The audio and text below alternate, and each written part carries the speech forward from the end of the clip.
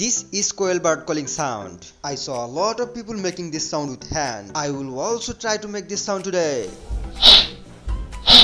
It's not working. So I decide to learn the correct way from YouTube and try again. First of all, I need to place my right hand on the left hand and fold fingers to make airtight inside. Then I need to keep a small gap between two thumbs and try again.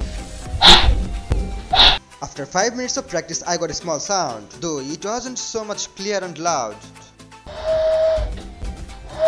After practicing 5 more minutes, I got more clear and louder sound than before. Did you hear that?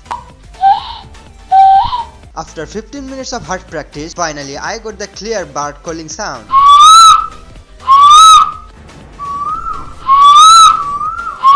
So if you guys enjoy the video, please watch my other skill and videos and don't forget to subscribe.